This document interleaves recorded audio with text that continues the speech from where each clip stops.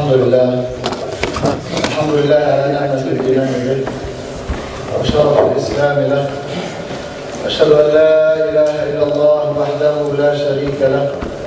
القائم على كل نفس بما كسبت والمجازي لها بما عملت. أشهد أن سيدنا محمدا عبده ورسوله سيد الداعين إلى الله على بصيرة والمجاهدين فيه بإحسان.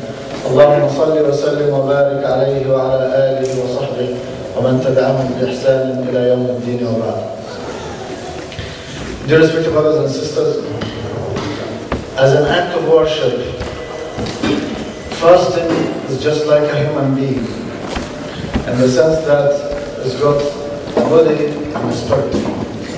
And we need to think of all acts of worship in this sense, in this particular way, that there are two main components for, for each and every act of worship, just like us, just like our souls. We as human beings are composed of two main components, two main elements, the body and the spirit, or the body and the soul. The same applies to all acts of worship, including fasting. So, sometimes we become very much focused on and very much interested in the body side of the act of worship, or the physical structure of it. That's why all of us, almost all of us, know very well the things that invalidate the fast. The physical things. If you eat, if you drink, if you do your sexual, any sexual relationship during the daytime of Ramadan, so this is going to invalidate your fast. But still all these things are related to the physical structure of the act of worship.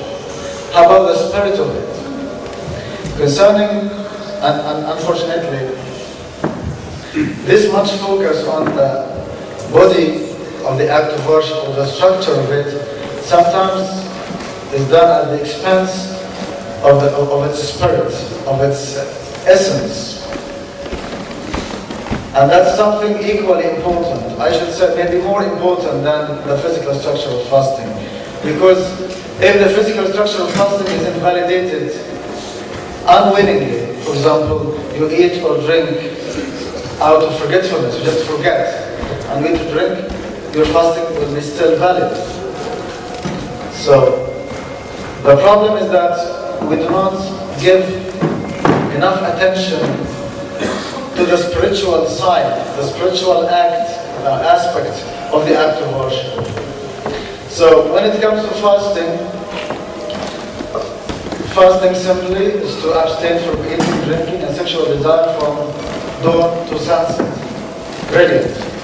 That's the structure of fasting, the physical aspect of it. The spiritual act of, of the spiritual aspect of fasting, which is equally important and maybe more important than the physical aspect of it, is that we need to purify our hearts for the sake of Allah subhanahu wa ta'ala.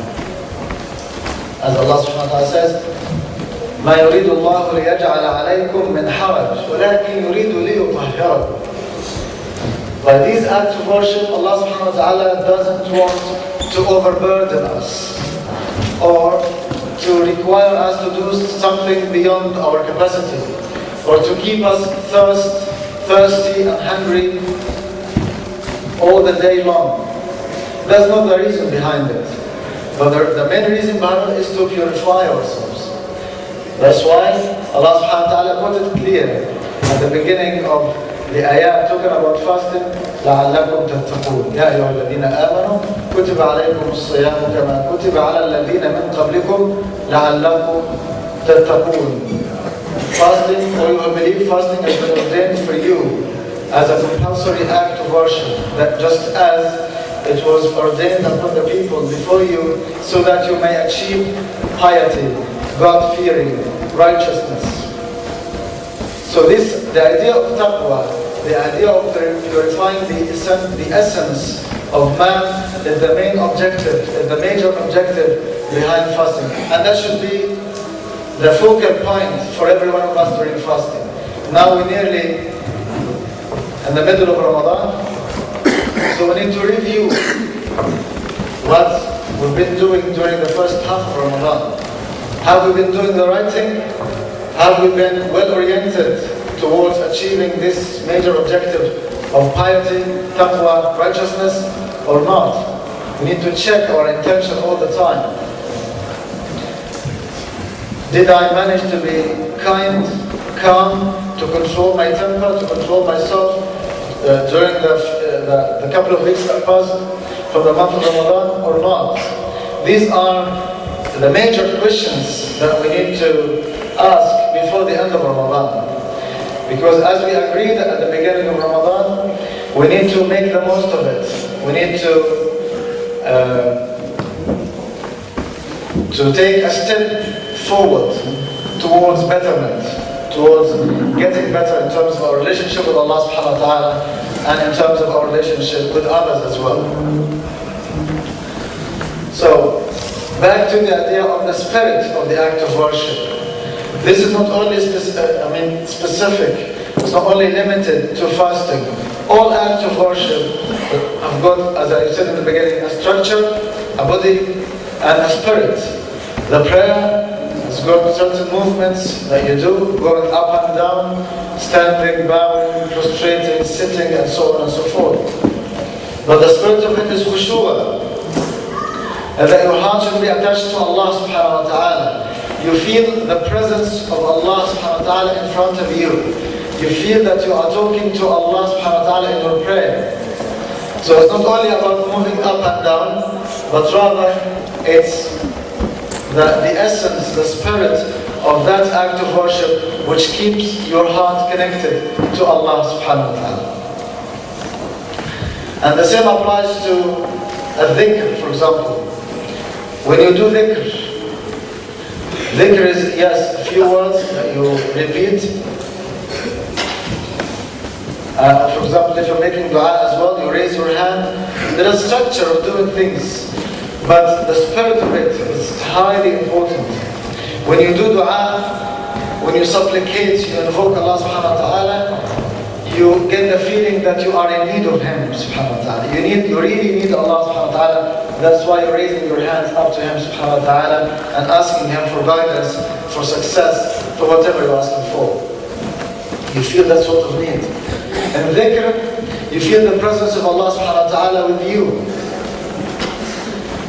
Even when it comes to Hajj, Allah subhanahu wa ta'ala says, وَمَن يُعَظِّمْ شَعَائِرَ اللَّهِ فَإِنَّهَا مِن تَقْوَى الْقُلُوبِ Again, it's all about the heart, about the spirit of the human being. So, Al-Hajj is meant for every one of us to glorify the rituals, the rites of Allah subhanahu wa ta'ala because that's part and parcel of the taqwa of achieving the righteousness and piety and fearing Allah subhanahu wa ta'ala. Back to fasting because that's our main focus today. Fasting, how can I enhance the spirit of fasting to be more practical? Actually, the Prophet ﷺ put it clear for every one of us. And he said, sallallahu alayhi wasallam. Say sallallahu alayhi wasallam, please. He says, من لم يدع قول الزور والعمل به فليس لله حاجة في أن يدع طعامه وشرابه. Whoever doesn't manage to abstain or to stay away from foul words, from telling lies, from the bad things, especially verbal, things that, that displease Allah subhanahu wa ta'ala. Whoever doesn't manage to, to stay away from these things, Allah subhanahu wa ta'ala is not in need of their thirst and hunger. Because as I said, just said in the beginning, Allah subhanahu wa ta'ala doesn't want us to remain hungry or thirsty or, or to torture us. There's nothing of that at all. It's all about allowing more space for the soul to extend. Because when you stop feeding the body, this allows an opportunity for the soul to be elevated. When you eat a lot, you, you become inclined to sleep, you become drowsy, you, you, you have sort of uh, inclination to laziness, to slacken down. So when your body is light, you don't feed it, you, do, you don't feed your body much. This allows the soul to elevate and to nourish. So we need to think of it that way. We need to focus, especially in the month of Ramadan, on our spiritual attitude to see whether we are improving or not. Am I still the same in terms of my relationship with brothers and sisters around? Or is there any sort of betterment, uh, this sort of improvement? Am I still the same in terms of my relationship with the mosque? Or am I going to be a regular visitor to the mosque, inshallah, even after Ramadan? So these sort of improvements are the signs of the acceptability of the month of Ramadan. Are the signs of the spiritual improvement. So it's not, it's not all about the body. That's why some Muslims struggle when they are, when they are asked why they fast. Some, non, especially non-Muslims, ask us sometimes, why do you fast? And uh, quite a few brothers, maybe so many of us, struggle with the answer, though it's, it's as simple as Allah subhanahu wa ta'ala mentioned. But sometimes we say, to feed the poor and the needy, because they, they are hungry uh, most of the time. So we need to, to feel sympathy with them. So how about the poor and the needy? Why do they fast? Because they are still required to fast.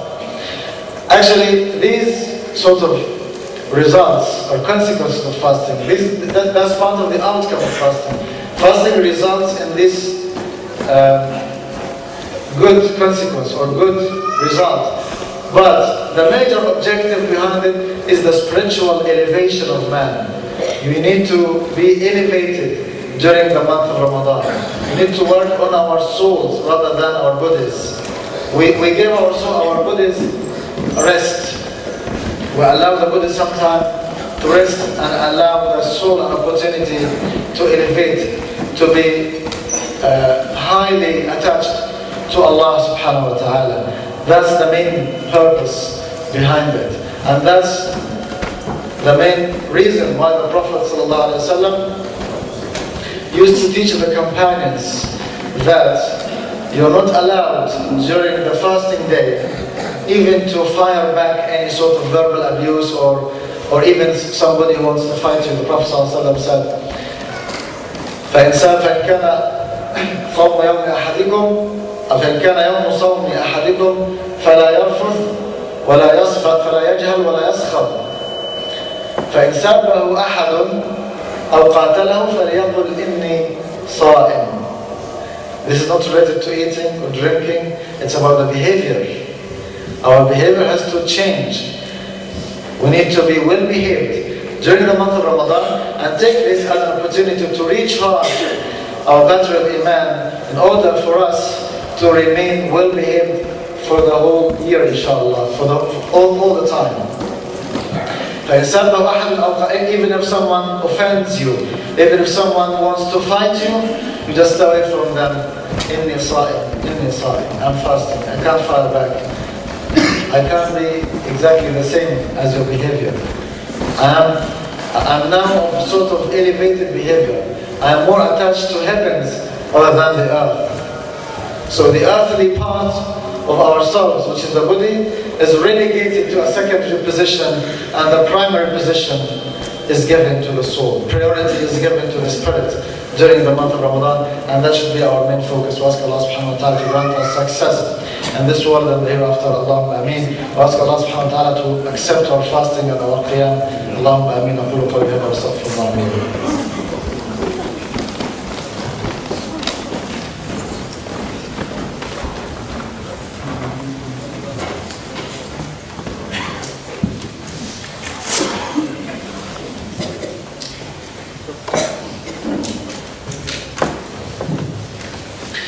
الحمد لله على نعمة الإيمان به وشرف الإسلام له أشهد أن لا إله إلا الله وحده لا شريك له القائم على كل نفس بما كسبت والمجازي لها بما عملت وأشهد أن سيدنا محمدا عبده ورسوله سيد الداعين إلى الله على بصيرة والمجاهدين فيه بإحسان اللهم صل وسلم وبارك عليه وعلى آله وصحبه ومن تبعهم بإحسان إلى يوم الدين وبعد.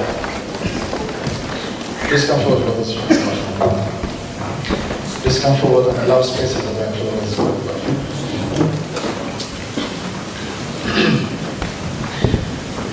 part of uh, our endeavor to, to achieve spiritual elevation of Ramadan is to try to suppress one of the main qualities that Allah subhanahu wa ta'ala doesn't like. To suppress the feeling of miserliness. Because Allah subhanahu wa ta'ala says, وَمَنْ يُوقَ شُحَّ نَفْسِهِ فَأُولَٰئِكَ هُمْ مُفْلِحُونَ Whoever is saved, whoever is protected from the, miserly, from the miserliness, from the stinginess of their, of, of, of their attitude, of their behavior, of, the, of, their, of themselves, then these are the people who are going to achieve success. فأولئك هم المفلحون. الشح والبخل, miserliness, is one of the of the negative attitudes, negative qualities that Allah subhanahu wa ta'ala doesn't like. And we need to learn from Allah subhanahu wa ta'ala. One of the names of Allah subhanahu wa ta'ala is Al-Kareem, the generous subhanahu wa ta'ala.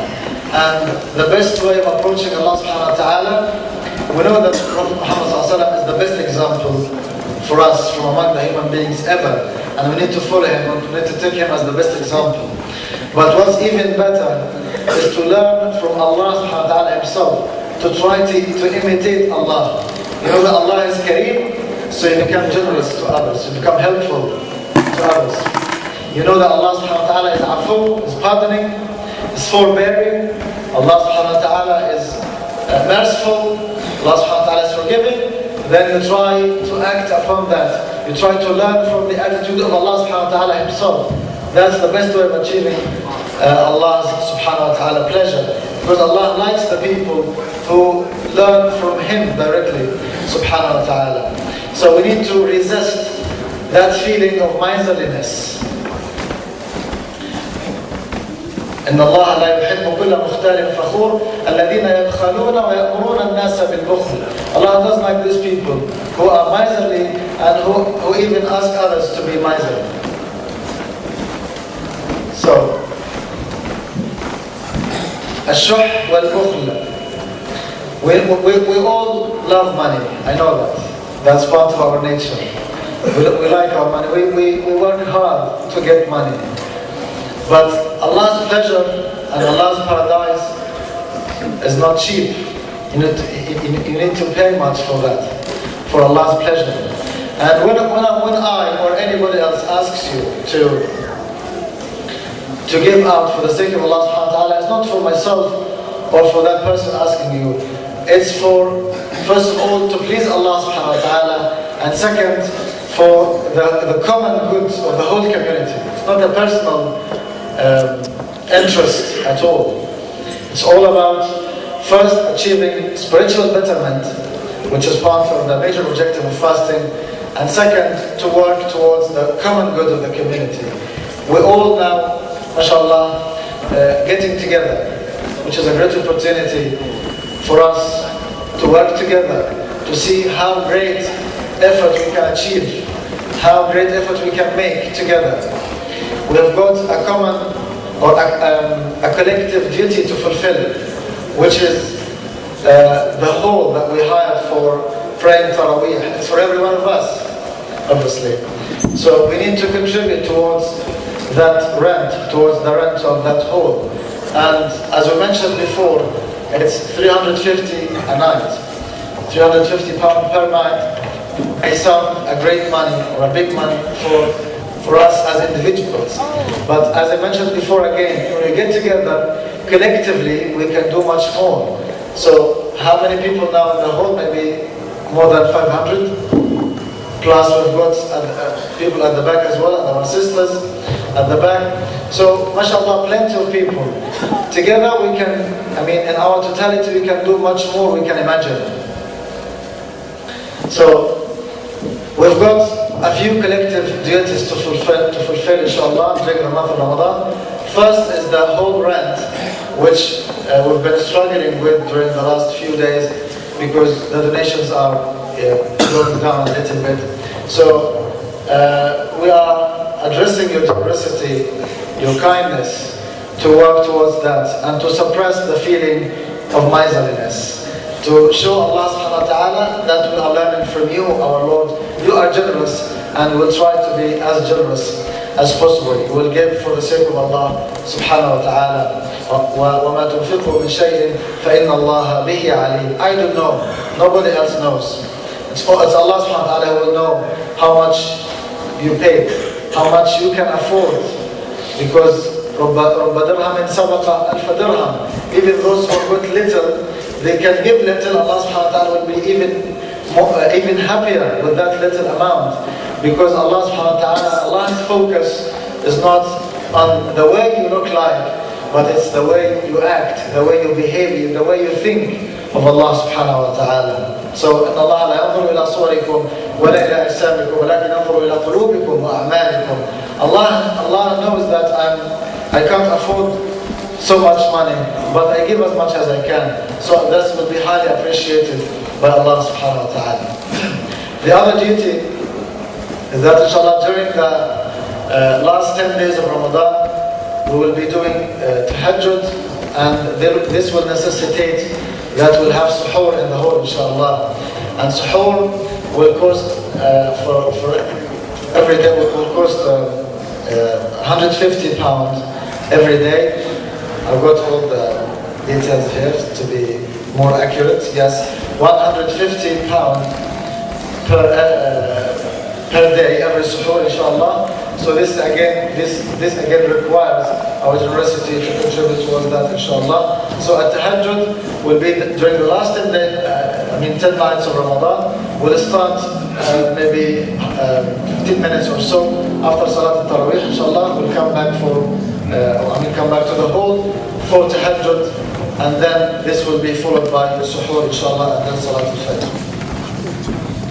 So We've got tahajjud, we've got suhoor, and we've got the whole rent, inshallah.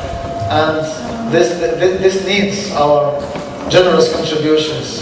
Uh, it, it's all voluntary. Nobody can force anyone to, uh, I mean, to contribute to that. It's voluntary. It's for the sake of Allah subhanahu wa ta'ala. It's for helping the community to get together. And it's part of the spiritual elevation. Now we need to resist our uh, our negative feelings. Okay, if I get if I give out, then I'll get poor. Allah, there is a guarantee from Allah subhanahu wa ta'ala that Allah subhanahu wa ta'ala will give you back even more.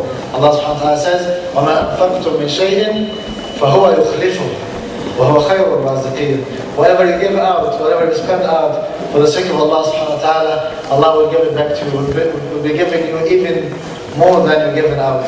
We ask Allah subhanahu wa ta'ala to accept our contributions. And we ask Allah subhanahu wa ta'ala to help us be more elevated, more spiritually elevated during the month of Ramadan. We ask Allah subhanahu wa ta'ala to accept our fasting and our prayers and our recitation of the ever glorious Quran. We ask Allah subhanahu wa ta'ala to help us act upon the requirements of the ever glorious Quran. اللهم انفعنا بالقرآن اللهم انفعنا بالقرآن العظيم اللهم انفعنا بما صرفت فيه من الآيات وادفع عنا به الكربات. وادفع عنا به الكربات. وهون به علينا السكرات عند الممات. اللهم اغفر لنا وارحمنا وعافنا واعف عنا واصلح أحوالنا وأحسن خلاصنا وبلغنا مما يرضيك آمالنا يا رب العالمين. لا إله إلا أنت سبحانك إنا كنا من الظالمين. لا إله إلا أنت سبحانك إنا كنا من الظالمين. اللهم كما بلغتنا رمضان فبارك لنا فيه. اللهم كما بلغتنا رمضان فبارك لنا فيه وأعنا على على إتمام صيامه وقيامه واجعلنا فيه من عتقائك من النار ومن المقبولين يا أرحم الراحمين.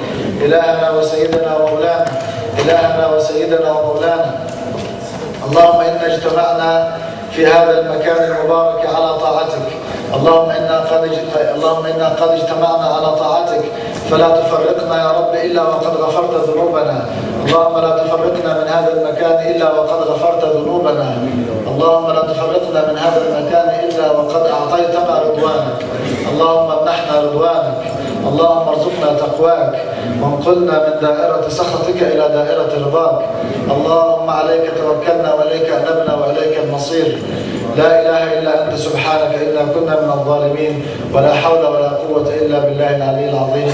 وصلى الله وسلم وبارك على نبينا محمد وعلى آله وصحبه أجمعين Just one last announcement before I get down. Uh, last Friday's collection uh, was uh, 1,650. So thank you very much for your generosity. Please keep going. May Allah subhanahu wa ta'ala bless you. It's, it's, been- it was uh, 1,650. Jazakumullah khairan for that. Thank you very much. May Allah subhanahu wa ta'ala accept that from you. Barakallahu